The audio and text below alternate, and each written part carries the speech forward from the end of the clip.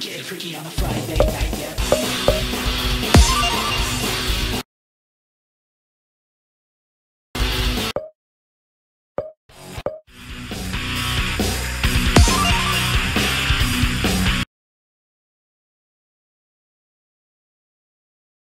Three, two, one.